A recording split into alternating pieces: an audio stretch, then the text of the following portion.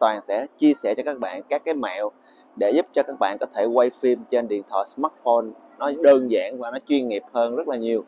Nếu như các bạn đang tập làm video nhưng mà các bạn không có kinh phí để sắm những cái thiết bị quay phim chuyên dụng, thì các bạn có thể tận dụng chiếc smartphone của các bạn để quay video. Tuy nhiên không phải ai cũng có thể quay những cái video đẹp trên điện thoại, smartphone. Và hôm nay những cái kinh nghiệm nhỏ này sẽ giúp cho các bạn có những cái thước phim đẹp trên chính cái điện thoại smartphone của các bạn. Và hôm nay mình sẽ hướng dẫn cho các bạn cách để các bạn cầm máy như thế nào à, lia máy như thế nào để cho nó đẹp nó chống rung mà chúng ta chưa cần phải dùng đến gimbal.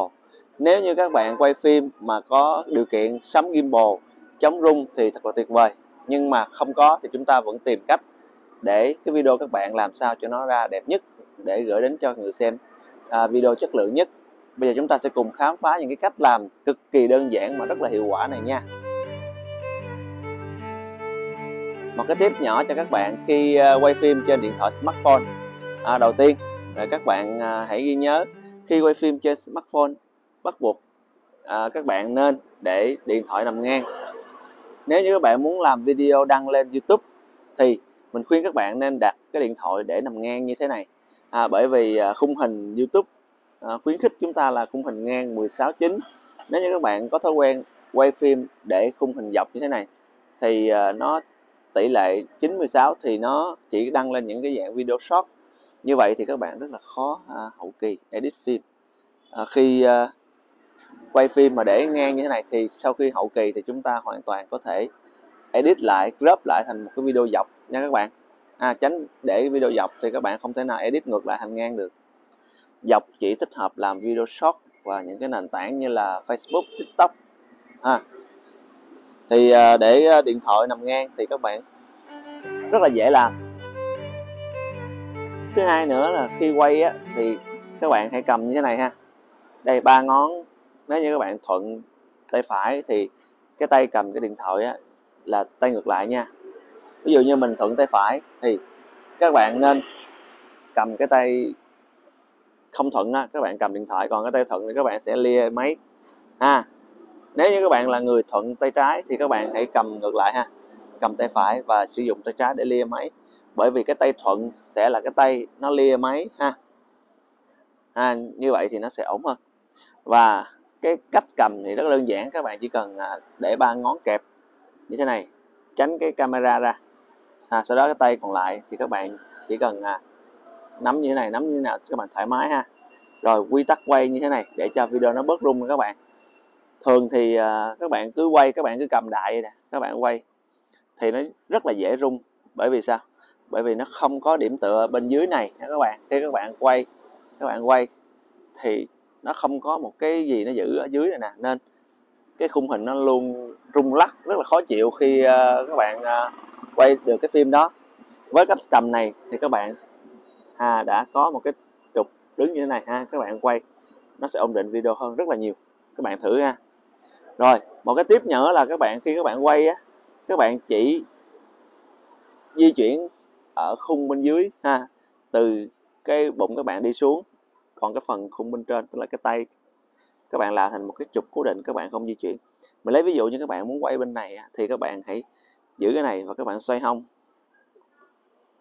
Ha các bạn xoay hông thì các bạn sẽ có một cái thước phim là các bạn lia từ từ từ qua ha. Đó. Các bạn thấy không? Xoay hông nha. Còn trước đây, thói quen các bạn quay phim, mà các bạn cứ cứ quay như thế này. Đó. Các bạn giữ hông mà các bạn quay cái tay. Đó. Thích thì thích, cái gì thì cứ quay cái đó ha. Rồi lên trên xuống dưới cũng vậy. Ha các bạn quay như thế này. Thì các bạn thấy nè nó không có cái gì giữ cái này hết. Thì cái video các bạn nó rất là rung lắc. Cách quay đúng là các bạn giữ chặt cái này, ha. Giữ chặt cái này và các bạn xoay hông. Còn đi lên đi xuống thì chúng ta không thể nào nhấn lên nhấn xuống được. Thì chúng ta cố gắng giữ cái này cho cứng và chúng ta tua cái này lên, tua xuống, ha. Giữ thật là cứng cái này và tua chậm. Thì chắc chắn cái video các bạn đăng lên, chắc chắn nó sẽ đẹp hơn rất là nhiều mà các bạn chưa cần dùng đến gimbal rồi để minh chứng cho cái cách quay này thì các bạn xem à, một cái video mẫu mình đã quay theo hai cách. Các bạn hãy so sánh thực tế xem có đúng là nó chất lượng nó tốt hơn nhiều hay không nha. Rồi một cái tiếp nữa cho các bạn đó là khi quay phim trên điện thoại tránh sử dụng chức năng zoom zoom ảnh à zoom ảnh của điện thoại để quay những cái đối tượng gần. Mặc dù điện thoại các bạn à, có hỗ trợ chức năng zoom nhưng khuyên các bạn đừng dùng bởi vì các bạn zoom như vậy chất lượng video nó rất là tệ. Nếu như các bạn muốn quay những cái đối tượng gần thì à, chúng ta giữ cái này và chúng ta lia người đến chúng ta quay ha. Đó các bạn thấy không? Giữ thân này và chúng ta chỉ cần lia người đến chúng ta quay. Ha quay như thế này các bạn? Tránh trường hợp đứng như thế này các bạn zoom lại gần các bạn quay cái đó. Thì chất lượng hai video nó ra nó hoàn toàn khác nhau các bạn? Cho dù điện thoại các bạn đắt tiền như thế nào nhưng mà chắc chắn chất lượng của nó cũng sẽ khác nhau rất là nhiều. Nên tiến lại gần đối tượng để quay. À, chứ đừng nên zoom nha các bạn. Rồi một cái tiếp nữa để quay phim đẹp trên điện thoại là các bạn nên cài những cái app quay phim trên điện thoại.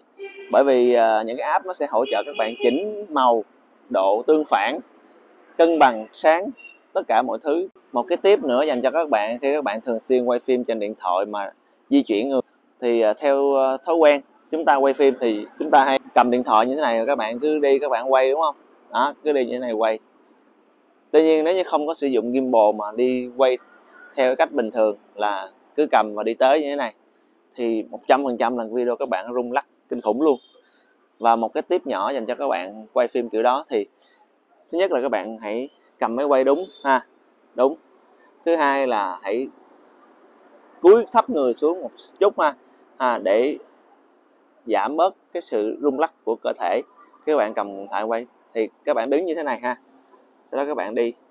Ai nếu như muốn quay cao thì để điện thoại lên cao này đó thì nó sẽ giảm rung lắc rất là đáng kể. Bởi vì khi các bạn đi với tư thế khủy gối như thế thì chắc chắn rằng à, cơ thể các bạn nó sẽ ít rung lắc hơn. Bởi vì không ai mà đứng tư thế này mà đi rung lắc như này đúng không? Đó, các bạn tự giữ cân bằng để các bạn có thể di chuyển nó cân bằng. À, còn khi các bạn đi bình thường như thế này á thì à, cơ thể các bạn à, nó rất là nặng. Ở đi nó cứ rung lắc như thế này. Các bạn thử trải nghiệm cái cách à, quay phim này đi thì các bạn sẽ thấy sự thay đổi nó rất là lớn. Các bạn hãy xem thử cái video demo mình quay theo hai cách khác nhau để xem chất lượng chống rung của nó có hiệu quả hay không nha. Cảm ơn các bạn đã theo dõi video này. Nếu như các bạn học hỏi được điều gì từ video, các bạn nhớ nhấn đăng ký kênh CD2 Studio của Toàn để đón xem những video hướng dẫn về bí mật làm YouTube tiếp theo nha. Xin chào, hẹn các bạn ở video sau nha.